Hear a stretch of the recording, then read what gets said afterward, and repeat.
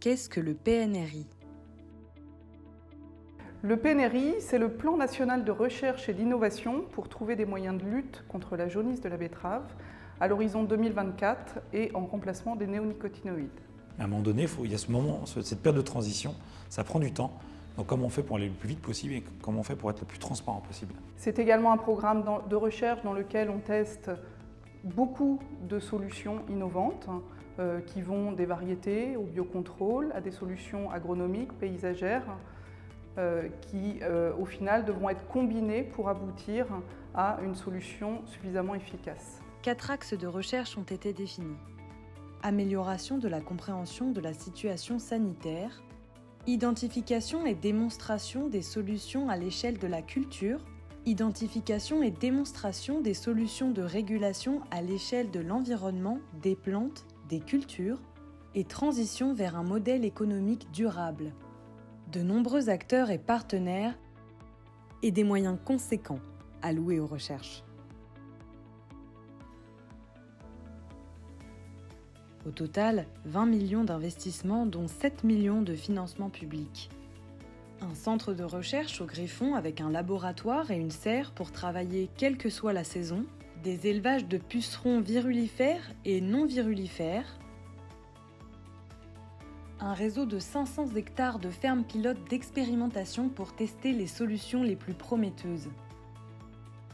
Ces fermes pilotes d'expérimentation servent également de support pour d'autres études. Ces fermes sont le support d'analyse économique des solutions techniques testées. Pour affiner le positionnement des différents traitements appliqués en culture, les modèles de prédiction des vols de pucerons construits par les chercheurs d'INRAE seront utilisés.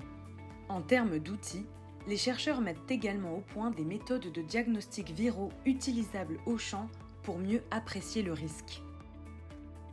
Ces fermes pilotes d'expérimentation sont coordonnées par l'ITB et les services agronomiques Tereos, Cristal Union et Saint-Louis Sucre. Quelles sont les réalisations de cette première année? Pour réduire les populations de pucerons verts, plusieurs solutions ont été testées. L'efficacité de plusieurs types de bandes fleuries et de plantes compagnes, des graminées inoculées de champignons aux propriétés insecticides, des essais d'application d'œufs et de larves de chrysopes, et des lâchers d'Aphidius. Plus de 30 modalités de produits de biocontrôle testés sous serre et au champ. Des composés organiques volatiles répulsifs pour les pucerons et ou attractifs pour les auxiliaires. Des recherches sur la protection des betteraves par l'inoculation de virus peu agressifs. La protection croisée, donc c'est une méthode de lutte contre les virus qui peut s'assimiler à une vaccination de la plante. Nombreux sont les leviers ayant été expérimentés à travers les 21 projets retenus du PNRI. Les semenciers ont tous détecté de nouvelles sources de tolérance qu'ils transfèrent maintenant dans le matériel élite. La filière testera en parallèle l'utilisation de mélanges variétaux. La première année du PNRI a permis d'identifier les solutions les plus prometteuses. Dans les deux prochaines années, les essais sur les solutions potentielles et leur faisabilité économique vont s'intensifier.